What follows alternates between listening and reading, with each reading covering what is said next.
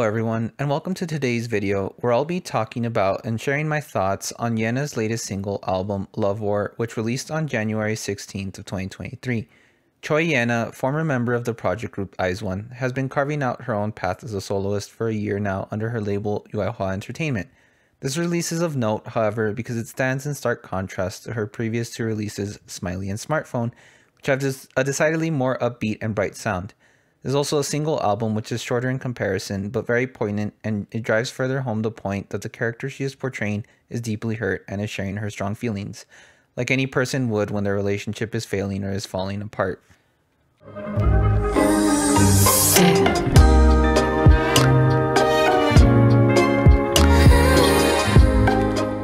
We start things off with the intro track titled Intro Love Is Over. It's interesting to note that the title of the track uses a semicolon between intro and love is over, implying that the two ideas are closely related, such as saying that this is the beginning of the end and a love war is coming. It's your standard intro track that blends elements of the title track into it and gives you a taste of what is next to come, which is another interesting point going into the next track.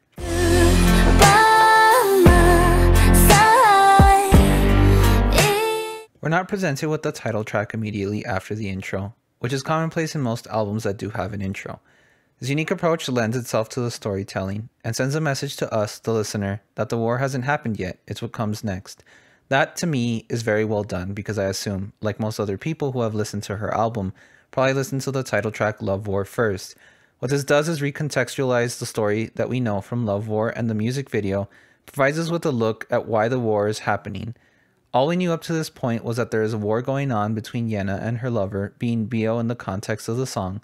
This is brilliant to me because it gave me even more reason to go back and listen to the tracks together, look up the lyrics, and experience the story in its entirety, which gave me that much more appreciation for the album as a whole. Track is solid as well, standing somewhere between a Lewis Capaldi slash Ed Sheeran kind of sound, but mixed with the delicate vocals of Yena that bring a gentleness and sort of innocence to the whole thing. Oh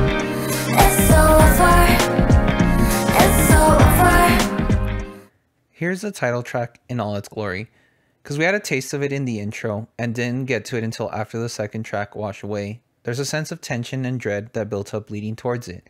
We're witnesses to this love war as she calls it, and no one is getting out alive. I would even say that this is Yena's War of the Roses, albeit less humorous, but it is just as brilliant. As I said before, this is probably the first track many of us listened to from the album, then went back and listened to the whole album, but it stands wholly on its own. From the first listen, I was immediately hooked with the tonal shift from Smiley and Smartphone, but I was also impressed by how naturally Yena fit into the role of the disenchanted lover. She's done playing games and she's out for blood. The visuals are very dark, gritty, and employs the use of a lot of reds and blacks. The vocals are delivered with a smoothness that underlines the deep-rooted contempt she harbors towards her lover.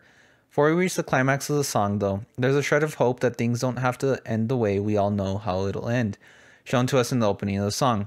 But it's a self-fulfilling prophecy and there's no going back. Her lover tries to fight back, pleading his case and shifting the blame from himself, trying to lead her to believe that there's nothing wrong and that it's all in her head.